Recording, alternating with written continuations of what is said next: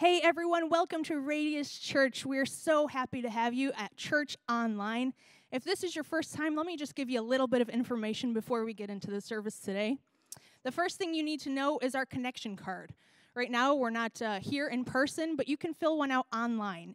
So if you go to our website, it's radiuschurch.tv, go to the Connect tab, you can fill out the connection card online. That way you'll know all the different things coming up. You know, there's a lot of changes, a lot of different things going on in our state right now. Uh, so you will stay up to date with all that information.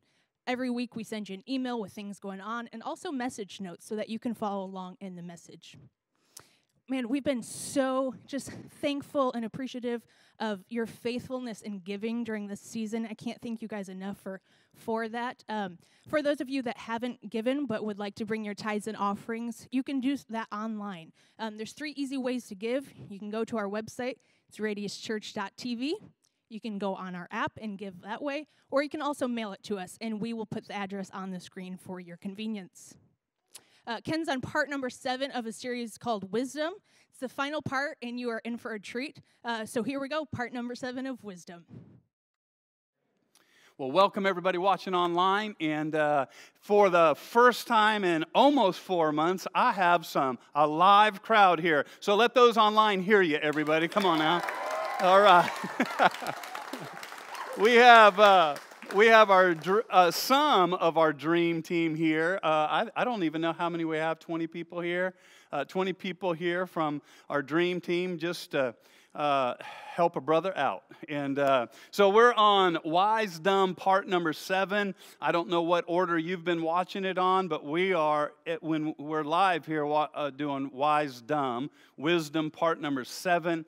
And I'm going to wrap it up. And there's so many little things that I wanted to dive into that I'm leaving behind. I really wanted to talk about the principle of guarding your heart out of Proverbs, which is one of my favorites, Proverbs chapter number four, verse number 23.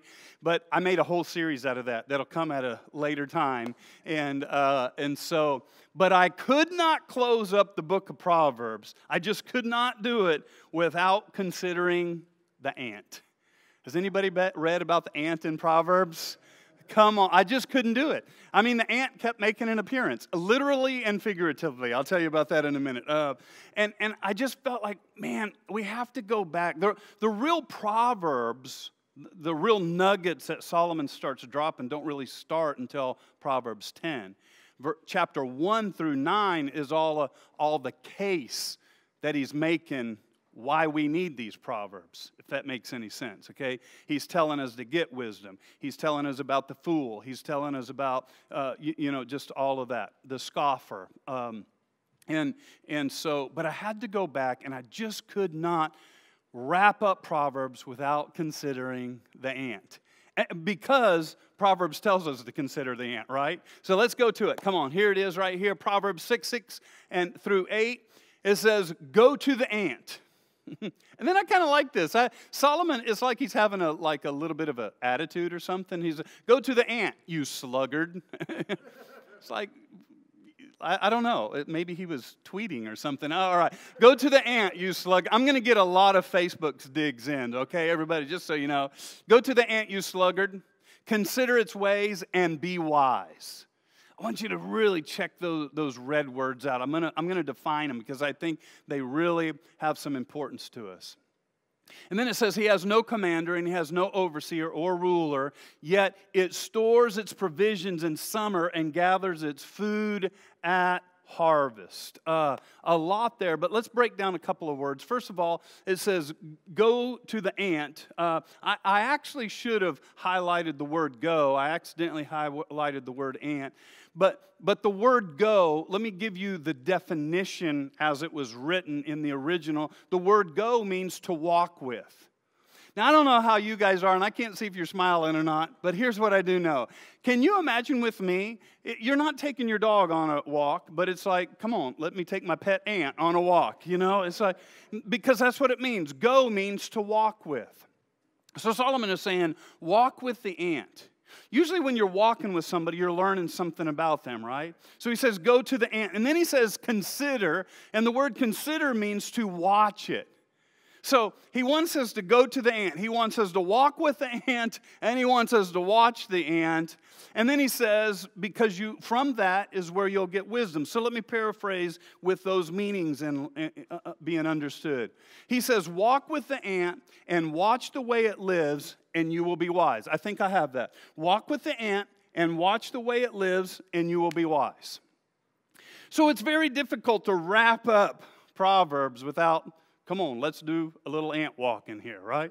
Okay, so now, I don't know about you, but when I read that, like, be like the ant, I don't want to be like the ant. Uh, ants get squished, you know? Uh, ants have raid attack them. And I, I just, I, there's a lot of other things I would rather be than an ant. Can I get an amen out there, right? I mean, I like the Bible verses that talk about being like strong as a lion. Come on, somebody. If you didn't have your mask on, I'd ask you to roar with me, but I won't get that carried away. I like the verses that say, mount up with wings as eagles.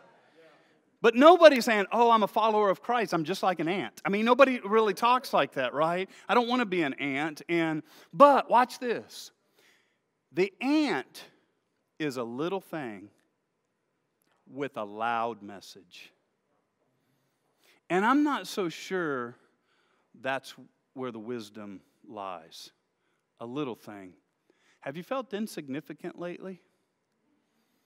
I don't know about you, but I'll just tell you my battle. I haven't seen nobody hardly in months. I've wondered if people are even out there paying attention. Oh, I know the numbers are there, but they're cleaning garages and cleaning kitchens and cooking breakfast and drinking coffee and out on the boat. I have never felt more like an ant than I have in the last three months. And but it's a little thing with a loud message. And, and this is no kidding. I'm not making this up just to make the message make more power or more sense. No kidding. When I sat down to write this message, this is how far I had written. I am not kidding you one bit. No stretch of the conversation. An ant crawled across my computer screen while I was writing this. And, uh, and, and, and now, uh, I did the ant's funeral. I just want you to know. Uh, he, he, he, was a good ant. I, I preached him into heaven. Uh, and I, it, but, but anyway, uh, but it's true. The funeral part's not true, but an ant did crawl across and his demise is true also okay?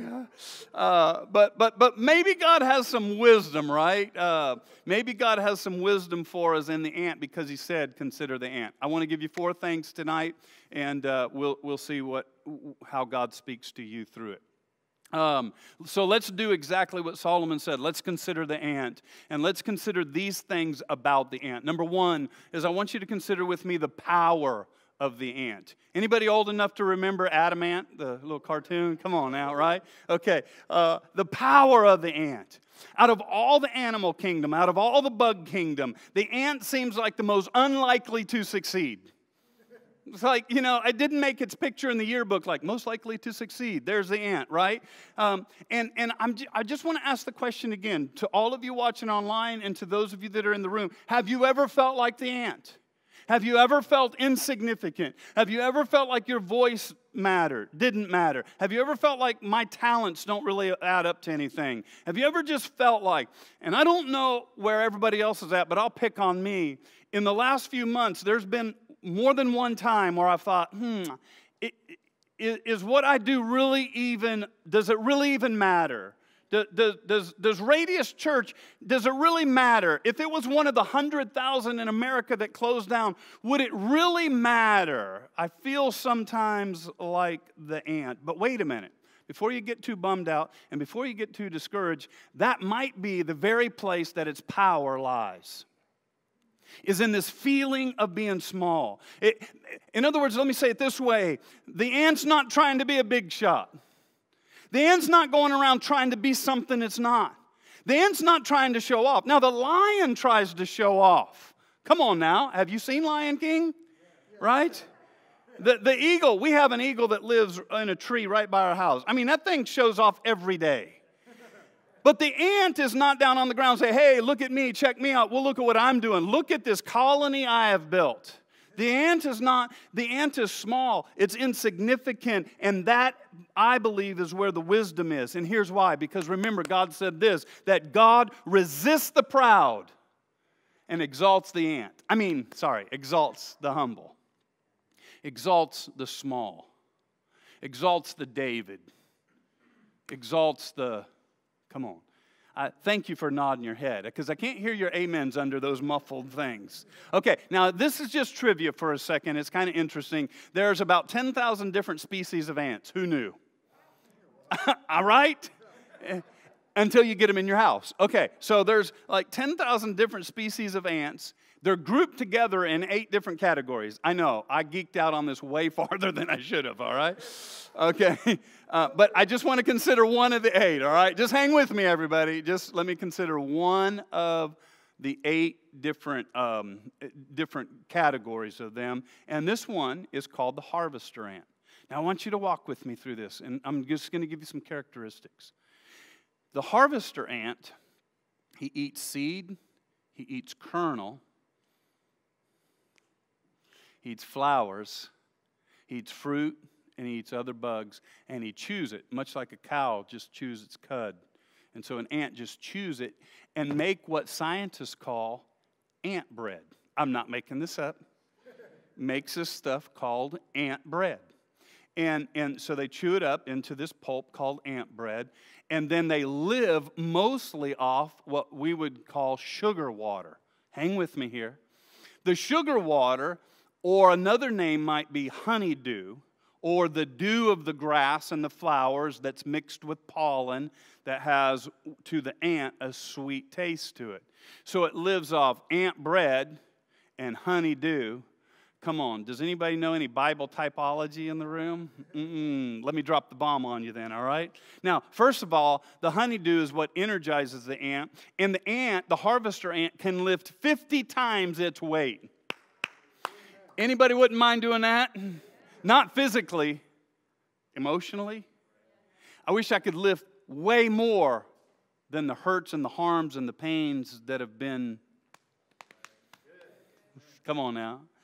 Um, okay, so let's do just a tiny bit of Bible typology, okay? If you know Bible typology, honeydew. Dew is a symbol, anybody know? Of the Holy Spirit. Dew is a symbol. There, there's over, I, I, can't remember, I studied the symbols of the Holy Spirit once, and there's, I can't remember, and I don't want to say because somebody will email me and say, You're a liar. All right, so, uh, but there's a lot, okay?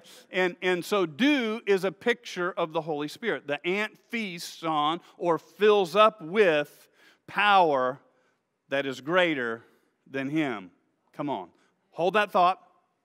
And the ant also, so consider the ant, because the ant also is eating bread, and bread is a symbol of Jesus, our daily bread. Jesus, the manna down from heaven, our daily, okay, so you got that. Okay, so let me just make a conclusion real quick.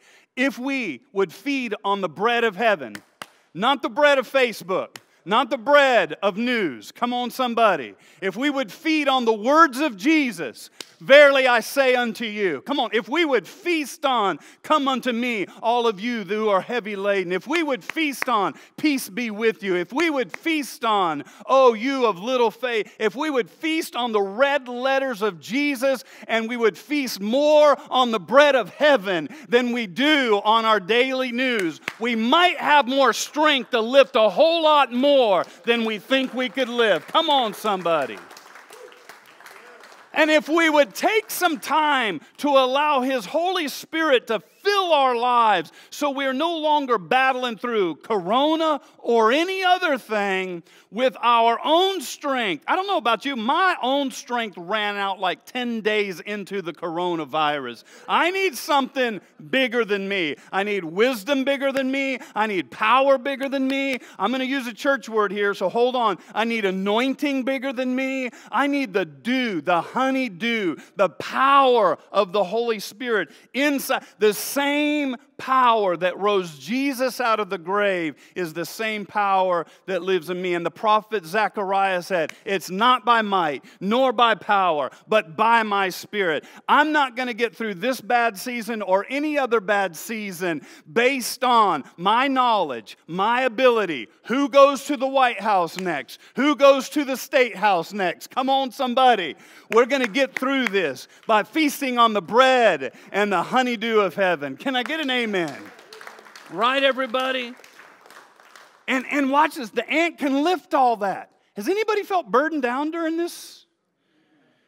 And you can lie and say no, or you can be way more spiritual than me because there's been times I'm like, man, this is heavy. You do some funerals and a shutdown, it's heavy. You have a sick parent that you can't go see, it's heavy. You have friends crying that started a business a year ago and are out of business and bankrupt. It's heavy. Yes, we love Jesus. Yes, we're going to heaven. But I need some power to be able to hold way more than what my natural person. Come on. Yeah? Number two, Number two, number two. Not only do we look at the power of the ant, but I want you to consider the preparation of the ant. And the preparation of the ant, uh, I, I love this. This one's kind of a gimme here. It says, Notice the ant prepares for the wintertime. He's working not, watch, this is so clue. He's not working for today. He's ignoring the issues of today. Woo, come on, bring it on, coronavirus. He is, he is overlooking the the emotional roller coaster of the present because he's got his eyes focused on something in the future.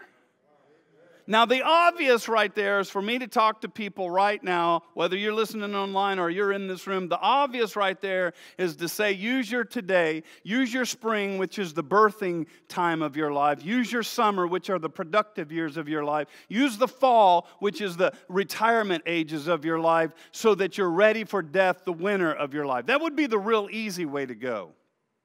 But I'd like to look at it just a little bit different.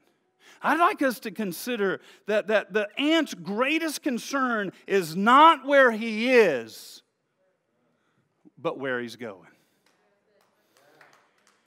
I think the thing that's wearing everybody out is we are fixated on where we are.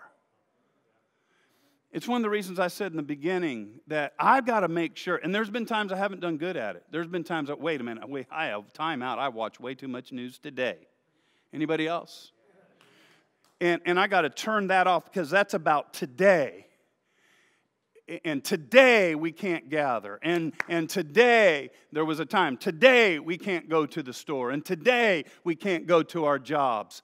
But all today is about preparing us for something else. I talked about it a couple of weeks ago. Jonah, he had a stop too in the belly of a well. He had a shut down also, but that prepared him for something else. Paul had a shut down in a prison and, and he was isolated too, but it prepared him for something else. So, what is today? My question as a pastor that I have to ask before I ask, what does it do for Ken? I have to ask, what does this shutdown mean today? What does it mean for us as a church as we move forward? Um, I think we're just now starting to discover some possibilities of that, that this season is preparing us for something. Remember uh, a few months before the shutdown, I did a series called, uh, I think it was just called Pain. Um, even if you don't remember, it, would you nod your heads and make me feel better? You can cross your fingers under your chair, but just make me feel good, all right? Um, and I talked about how promotion is always preceded by pain. I think the same thing applies right now. I think that the church is getting ready to see some of its greatest days. But there's a little bit of pain and discomfort prior to. Come on, ask any mama in the room if I'm not right. Yeah, come on now. Uh, this is our time to prepare. The ant is never looking in the past, he's always looking in the future. And I believe somebody watching this weekend, somebody sitting in this room, come on, you need this piece of wisdom right now because you don't trust your now because of what happened yesterday. And because of what happened yesterday is messing up your now, and your now is not a good foundation for what you're trying to build for tomorrow. Consider the ant. Walk with the ant. Do what it does. And let your now prepare you for tomorrow. Come on now. Some of some people, you're continually putting people on promotion that are will be friends that will promote you and help you in life. But because you've been hurt by some pastor, some man, some woman, some abuser, some boss, some uh, just keep going. Now I don't trust any man. Now I don't trust any woman. Now I don't trust any church. Now I don't trust any leader. Now I don't trust any job because of what happened back there, and you're still looking back there, and it's messing your now, which is destroying your future. Consider the ant. He's not worried about yesterday. He's not even really consumed in today, only to leverage today for what the harvest tomorrow could bring. Whew, that's a good place for an amen right there, if I have to say so myself. Matter of fact, I think that's biblical. This present suffering cannot be compared to the future glory, come on, that God has in store for us.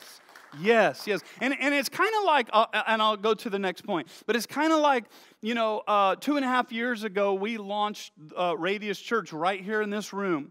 And, and there's many people that have helped us do that. Some right here in this room. Well, everybody, really.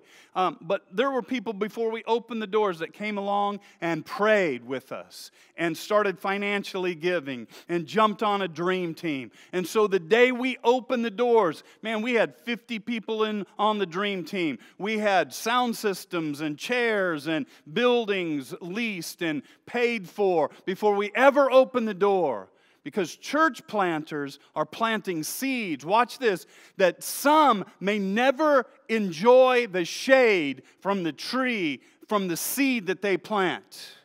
Consider the ant. Because we're planting seeds right now that it might be our grandchildren that sit under its shade. This might be a safe harbor for your children.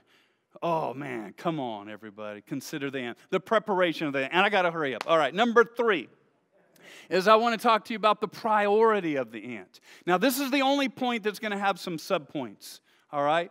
Uh, th- th- so there's going to be some subpoints under the priority of the ant because his priorities are his habitation, his hearing, his harmony, and his harvest. All right? Come on, man. I got a lot of free time. I'm making all them words start with the same letter, all right? So here we go. That's a lie. I really don't have as much free time as I thought I was going to have. All right, so here we go. Let's talk about its habitation. Now, lean into these. These are, the, I think these are the most important. Its habitation. It's important to know that the ant is a social insect. Woo! Come on. Remember that ant I squished? He was alone.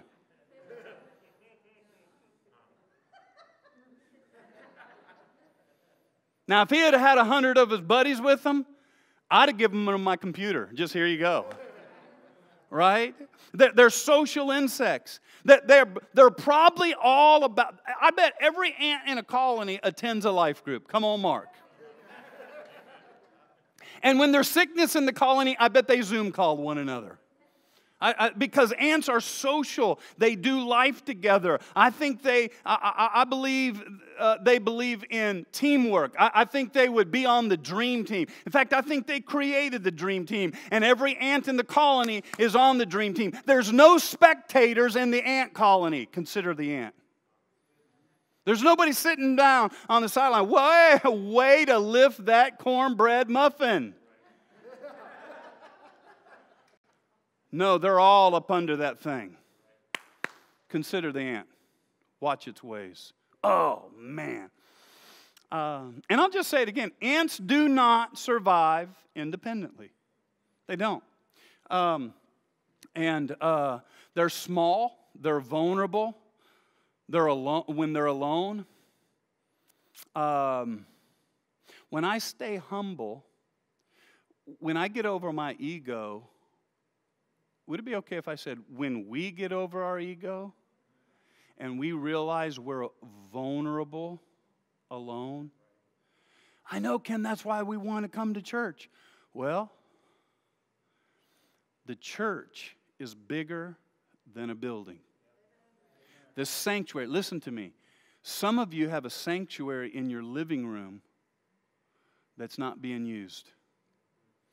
Dads, some of you are supposed to be the priest of your home, but you're waiting for church to come back together. Come on now. I'm not supposed to be your kid's pastor. You're supposed to be your kid's pastor. Hello? Okay, I, I, I like you. I love you. It's all good. All right. Um, all right, let's, let's move on to another one. It's hearing. So we got his habitation, we got his hearing. Man, here's something else I geeked out about. It was fascinating. Ants make these little sounds. Have you ever seen one ant crawling through? He, he's, the, he's the searching ant. And if he finds a crumb, he will send a signal, a verbal sound, a, a, a wavelength to the ant colony. Drop a potato chip on the floor. Watch one ant come find it. You get up the next morning, there's an army of ants here we go. Carrying because he, he has a voice, and all the other ants are listening for the voice, listening for the discovery. Oh man, I want to get into this. Woo! He, they're, they're waiting for new opportunities. They're, they're watching and waiting. Isn't it interesting during this time? Everybody's got a mouth. I mean, everybody's got a voice. But I wonder does anybody have an ear? Because John the Revelator said, He who has an ear, let him hear what the Spirit is saying. And I, I, think the devil has us so distracted by the news and by the, the riots and by the, I could name all the political junk that is going on and all the Facebook. Oh, look what he said and oh, look what they said. And we got, we got a lot of voices, but is anybody listening? Because maybe God has sent us and he's got, hey guys, I got a great harvest. But we're too busy saying, oh, I don't believe that. I'm not going to wear a mask. Come on, can we just put the simple things aside and let's keep the main things the main things? Come on, everybody, right? And, and, and, I, will just admit, I know I'm, I'm sounding a little, little irritated. That's because I got a live crowd here and they got me fired up. So email them. Email them. Mark Evans at gmail.com. All right? I know I've gotten distracted by COVID news and all the stuff that goes with it the COVID conversation, the COVID complaints, the, I mean, come on, you could just fill about anything in there right now. I think we're right now ready to fight about anything that comes up. Anyway, let's talk about its harmony. It's harmony. Oh, come on. It's, it's, harmony. They, they, they accomplish great things by working together. You never see one ant carrying a Dorito chip by himself. Um, you ever seen a group of ants carrying a potato chip? Come on, I mean, it's, it's kind of amazing. I mean, they got all them ants under there. Come on. They're all marching in, doing, they're all heading the same direction. They all have the same purpose. They all have the same, come on, consider the ant. Consider its ways. I would love my people to get in harmony, all marching the same way, keeping the main thing the main thing. Hmm. They, they live in organized colonies, uh, which I think is interesting. Let me just give you a verse on this one, and I'll go to the last one. Psalms 133 1 says, How good and pleasant it is when God's people live together in unity. I, I double dog dare you, get in a concordance, go to Bible Gateway or Google unity, harmony in the scriptures. And there are so many verses that talk about how much it blesses God when His people are all carrying the potato chip together. We got a crazy world right now. That's my potato chip. That's not a potato chip. We, we, we got, if you're going to pick up that potato chip, you better wear a mask. I'm mad at you for wearing a mask. I mean, come on now. I think right now, have we failed the unity test? And I think God's ready to move in a powerful way to those that'll say, you know what, let's set all that white noise aside and let's get together up under this chip and do something for God. Woo, I feel that one right there. All right. Sometimes you just got to encourage yourself. Way to go, Ken. That's good. Love that. That's a good. I like that. Uh, and then let me do the last one of those sub points. And the last one is its harvest. Check this out. If you've ever watched an ant carry a crumb, you can tell I grew up in homes that weren't in the best neighborhood, so we had all kind of bugs crawling around our house. Ants, roaches. I mean, we did. You know, the South. There's bugs. Anybody ever lived in the South? I mean, you turn on the lights and you hear they're gone. And you watch an ant carry a crumb that's bigger than him. That ant will pull it, drag it, scratch it. you know, that, that ant is doing everything because there's a great harvest to be had. Um, I think there's a great harvest to be had that if we're not careful, there's this great harvest and opportunity in front of us, but we're too distracted by. I, I've done it. There's been times in this, if I'm being very transparent, where, oh man, I, I, I let anxiety, I let worry, I let opinion. I let a lot of other things. Wait, wait, I got to set that aside because there's something big getting ready to happen. And I got to make sure I let all that go to the wayside. I was thinking the other day, let me give you a little hint. This just, um, uh, um, what if we did church different? What if we weren't supposed to return to normal? What if the greatest harvest, if you always do what you've always done, you'll always get what you've always had. And what if it's time? What if we're in a season that we've worshiped around the shrine of normal for too long, and God is saying, Look, you've gotten this big of a harvest doing it the way you're doing it, but I'm going to use this season in the world's history, not Washington's history, in the world. I'm going to do something over the whole globe. Or uh, I would, I sh- got to be careful because I'm not, my theology is not that God created it. But I'm going to leverage that thing. And I got a, I have a bigger harvest than you could ever imagine. So, what if, just imagine with me, all right? Let me stretch your imaginations. What if we didn't come back to church like normal? For some people, that freaks them out because we worship our church. Do I dare say it? You want me to say it, AJ? A lot of times in Americans' Christianity, we have worshiped our church more than we have worshiped our God. We have worshiped His bride more than we have worshiped Him. We have worshiped our pastors and our celebrity pastors and our styles and our personalities and our systems and our lights and our bands more than we've worshiped God. But I think there's this verse somewhere in there that says, I will have no other gods before me. Even good gods. Even gods that look good. Even gods that wear crosses around their neck. Hello, somebody. What, just imagine with me, what if God is wanting to do something? What if Corona shutdown looks kind of like this for three more months, four more months, five more months? What if it does? I'm not trying to be a prophet of doom. I'm just trying to say, what, wait a minute. What if we, what if this whole rest of this year, we don't get back to what we know life as is in normal? Then do we just keep on going this way? Well, what, what if there's another way? What if Friday night, let's just, let's just pretend for a minute. What if Friday night, I mean, come on, the Tonight Show does it, Saturday Night Live does it, news talk shows do it. What if Friday night became the place that instead of this being a sanctuary, this became a studio? And I get up and preach a message. And then we open the church on Sunday, Saturday night, Sunday morning, Monday night, Tuesday night, Wednesday night, and we open a barn or a garage or a living room or a virtual room. And there's virtual pastors doing watch parties. There's physical pastors here on a Monday night. There's physical pastors pastoring in their backyard. I was talking to Tyler, Tyler Beidelman, way to go. Him and his wife Debbie, they are watching the message live on Sunday morning in their neighborhood, garage door open, big screen TV playing, and their, their whole neighborhood is watching the message. Now, isn't that what the church is supposed to be doing?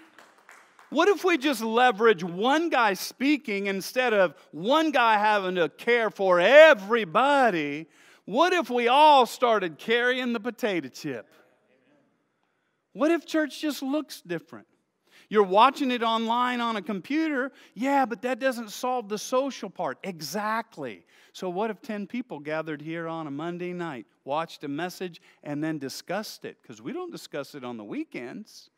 What if 12 people, which you've been doing, gathering in Mark and Susan's barn on Saturday night when it's going live, and they watch it and they get a chance to discuss it? What if all of a sudden, instead of one lead pastor, we had 30 lead pastors at Radius. It's harvest. We have to at least consider it. You know why? Because he said, consider the ant. He said. Let me do the last point. Are you guys smiling at me? Okay, just making sure. I don't know. It was at first it was nervous just talking to cameras. Now it's nervous speaking to a bunch of bank robbers. I mean, it's, it's, it's a little freaky. I'm just telling you. All right. I'm sorry. A bunch of doctors. Thank you, Jesus. All right, here we go. Here's the last one. Number four is the purity of the ant. The purity of the ant. And I'll wrap this one up close. But this was fascinating to me. Again, geeked out on this a little bit. Cleanliness is a priority to an ant. Come on, isn't that that's kind of fascinating, isn't it? Um, so, so I got to thinking. The ant has. Oh, I hope you hear this. The ant has the ability to get in the ditches and the dirt and the debris and the filth and stay clean. See, I think for too long we've tried to keep church clean, but real church is messy. Can I get in the mess and stay clean? Woo, come on. It goes to dirty places to get a big harvest. do you know if we did the idea I just talked about, the Friday night kind of thing, and open it up, do you know how messy that is? That's a whole lot messier than keeping everybody in one little room and me kind of getting around and saying, okay, here's what we're going to do. Instead of, I don't know what they're doing over at AJ's house. Those are maniacs over there. Missy's involved. You know it's out of control.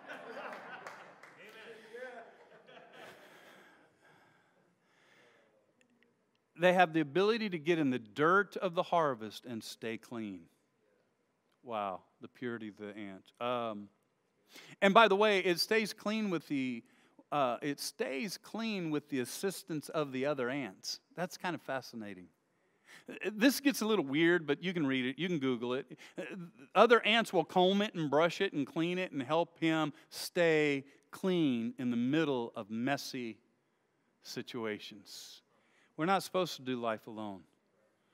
I, impl- I ask you with everything in me, if all you do is tune in on the weekends, take the next step.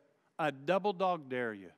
If you're lonely right now and you've just been watching online, which is about all we can do, I dare you. If you get in a life group at Radius, you don't have to stay in it for the rest of your life. If, if you're lonely, do one Zoom call. Just, just pick one. Put all the life groups on a chart, spin the tail of the, on the, pin the tail on the donkey, and call that one say, I'm with you today. And just have a conversation. Let somebody pray with you virtually, online. Build relationships. And then one day we're going to come back together and you're going to meet face to face. You might be missing one of the greatest friends in your life right now that'll help you with the greatest harvest in your life right now. I, I, it's all I can do is provide you a way to build a colony that I think has a great harvest in store. Amen, everybody? I'm going to close right there. How did I do on my time? I think I did all right. Okay. Uh, let me talk to those of you online for just a moment and then I'll come back and talk with you. If you're watching this message online, whether you're watching it live or you've picked it up some other time, you know, we talk about the power of an ant colony, and the book of Proverbs tells us to be like the ant. Get involved in, a, in something that's bigger than you. And if you're watching and that resonated with you and you're not a follower of Christ, I want to give you that opportunity. I'm going to say a prayer, and no matter where you're at, you might be watching this in your garage, in your living room. It might be playing on your app as you're driving down the road, but I want to pray a prayer. And if the Holy Spirit just brings this into your, this is you right now, and say, man, I, I want to be in that colony. Let me say it another way, because that sounds a little spooky. I want to be in the family of God. I want to be a follower of Christ. I, want to discover God's plans and purposes for my life. There's a harvest, there's a potato chip There's a goal, there's a dream I'd like to realize. But my friends, you're never going to do that all by yourself. And so today might be the day. You might have tuned into this, you might have showed up here because today's your day. Say, you know what, enough of doing life alone. I'm ready to become a follower of Christ. So I want to pray this prayer, even in this room with heads bowed and eyes closed. Father God, I thank you for Jesus. I'm a sinner and I need a Savior. Come into my life and be my Lord, my Savior, my best friend. From this day forward, I'm going to serve you. In Jesus' name, amen. Now, if you're watching online and you said that prayer, if you're at radiuschurch.tv, you can just click right down there. There's a little hand symbol says, I prayed that prayer today. If you'll click that, it'll lead you through a series of things where we could connect with you and help you walk through that. If you happen to be watching on Facebook, connect with the person that started the watch party that you're on.